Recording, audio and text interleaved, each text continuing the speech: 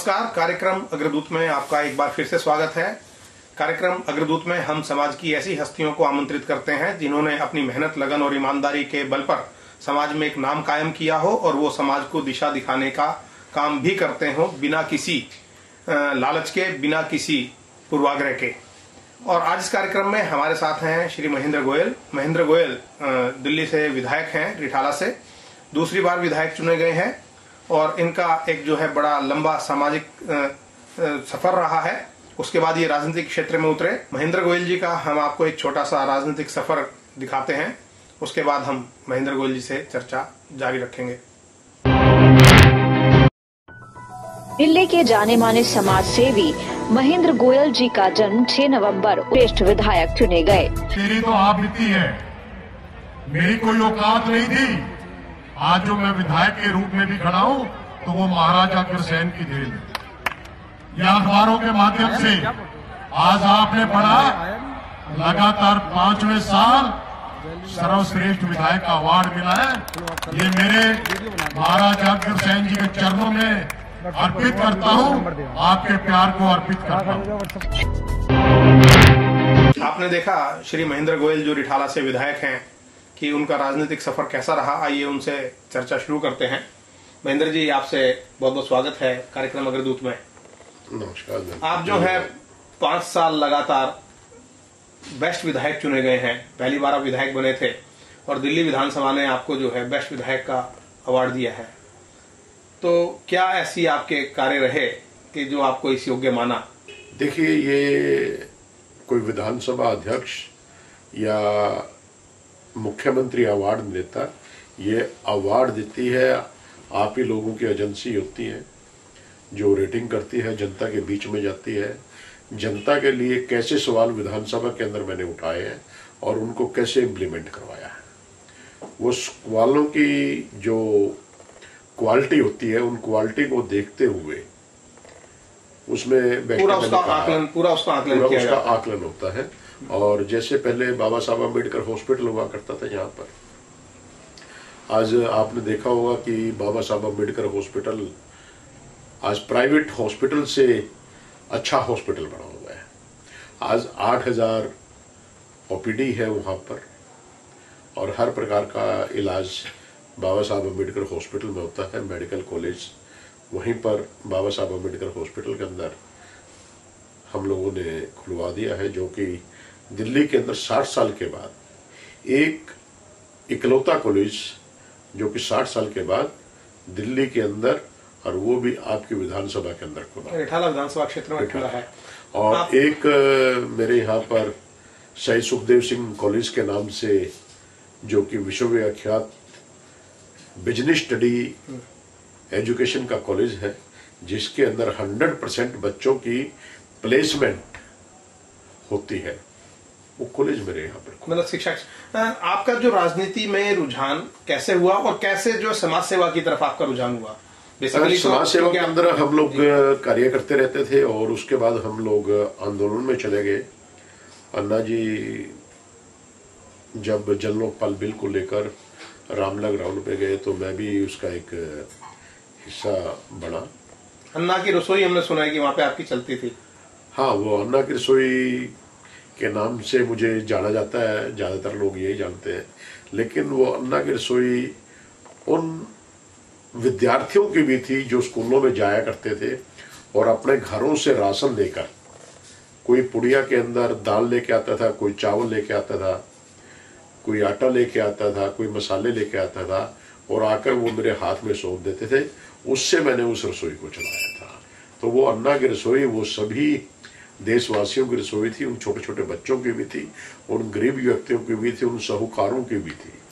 लेकिन क्या होता है कि जैसे अग्रवाल समाज का कोई भी व्यक्ति है, चाहे वो राजनीति में है, चाहे समाज सेवा के क्षेत्र में है, उसको आमतौर पर खाद्य मंत्री बोला जाता है।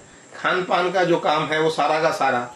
हमने अक्सर ये देखा है कि अग्रवाल अग्रवाल समाज के जो लोग हैं उनके हाथ में रहता है। देखिए, ये तो हमें विरासत में चीज़ें मिली हैं। महाराजा अग्रसेन ने जो समाजवाद की नींव रखी, उन्होंने हमारी रगों के अंदर एक ऐसा खून दिया है, जो कि एक ही बात कहता है कि हर व्यक्ति का आपको पालन पोषण करना है। आप समर्थ रहे हैं और भोलेनाथ की भी कृपा हमारे अग्रवाल समाज के ऊपर और माँ लक्ष्मी की कृपा है।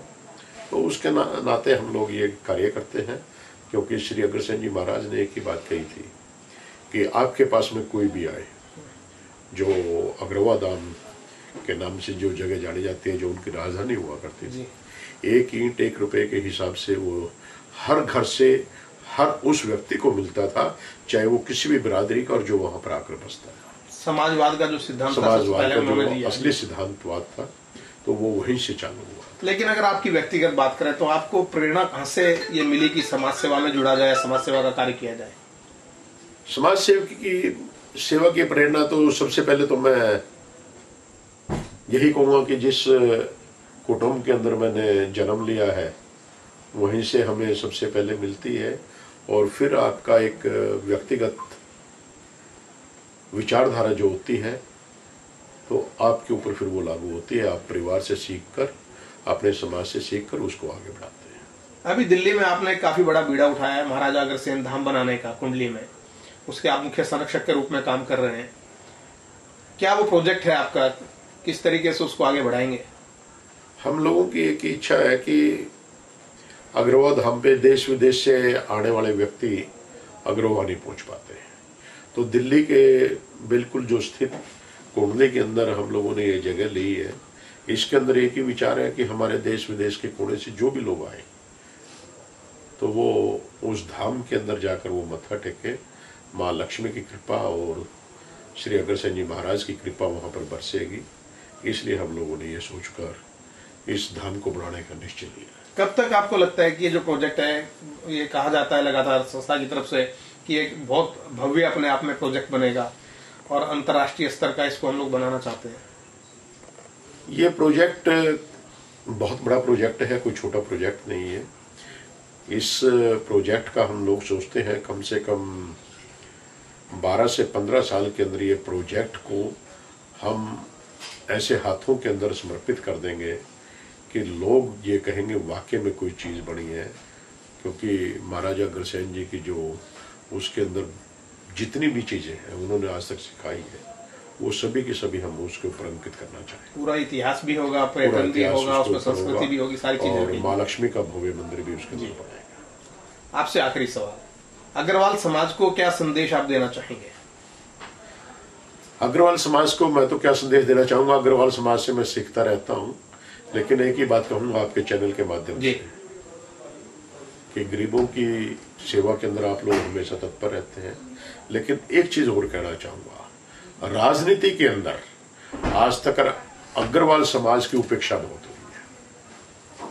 आप सबको एकजुट होकर राजनीति के क्षेत्र के अंदर भी अपने हाथों को आजमाना चाहिए। आप लोगों को राजनीति से जो आप लोग खुद दूर रहते हैं, कहते हैं राजनीति गंदगी है। ये गंदगी नहीं इसकी ज़रूरत बहुत है। राजनीति के बगैर आपका देश नहीं चल सकता। राजनीति के बगैर आपका समाज नहीं चल सकता। राजनीति के बगैर आपका उत्थान नहीं हो सकता। तो राजनीति को आप ज़रूर अपनाएँ। मैं आपके साथ में खड़ा हूँ। आपके साथ में हर प्रकार से हमेशा पहले भी सपोर्ट करता रहूँ और आगे भी मैं सपोर्ट करता रहूँ।